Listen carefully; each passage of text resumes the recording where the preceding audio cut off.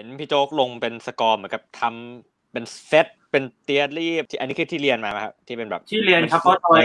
ใช่ต้องเล่าเขาความให้ฟังว่าตอนช่วงพี่โจ๊กวัยรุ่นอะตอนมหาลัยอะพี่โจ๊กไม่ได้เรียนแบบเป็นขั้นเป็นตอน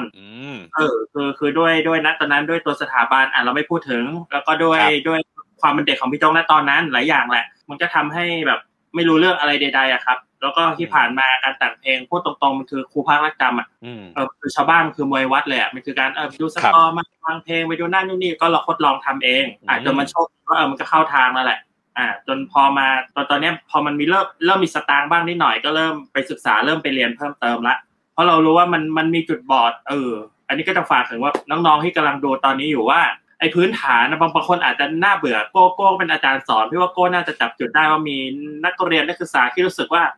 ฉันจะเรียนจะเรียนไปทำไมจุดสุดท้ายปลายทางอะถ้าถ้าน้องคนนั้นจะทำไอ้อย่างนี้เป็นอาชีพอะเออเช่นเรื่องงานต่างประเทศอะโอพื้นฐานข้อสำคัญเลยบางคนจะบอกว่าโอ้ยมันไม่เดี๋ยวนี้มันเชยแล้วมันต้องไป modern มันต้องไป